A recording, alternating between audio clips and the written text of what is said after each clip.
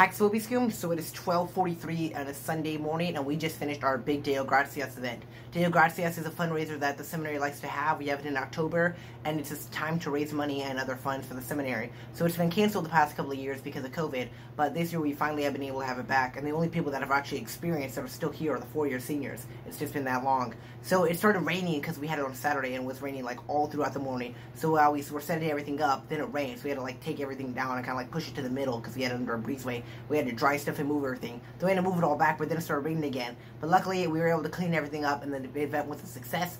My little job during the event was I worked the bar. So me and two other seminarians, we made drinks for other people, and we served them out at our bar. It was real simple stuff, just like whiskey, bourbon, scotch, rum, all just mixed with other type of sodas. And so that was a lot of fun. I really enjoyed it, and I'm glad that we were able to raise money and other funds for the seminary, and I'm so grateful to everyone that has donated to this Deo Gratias event and made it such a huge success.